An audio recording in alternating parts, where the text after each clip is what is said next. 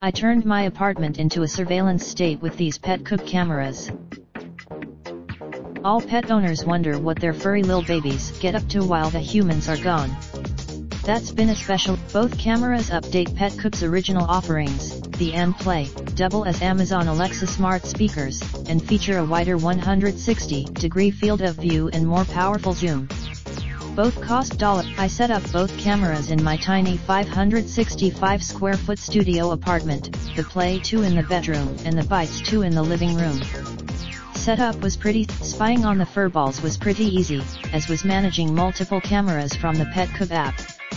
There were a few issues. As for video, I appreciated the app's care awake scheduling options.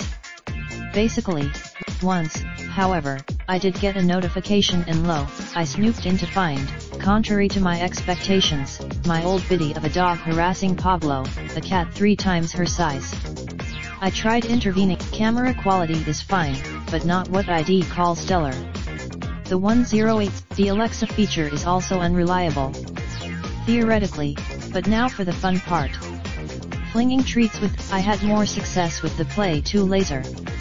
While there was significant, after about two weeks of testing, I can't say that my pets do anything worth recording while we're away from home.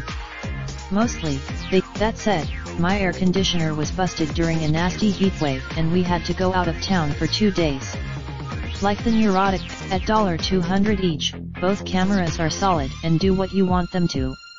Whether the laser or Raindrop, trip, drop top, top smoking, no cooking the hot pot. Fucking on your bitch, yeah, that that that. Looking up, open the park, pot, pot.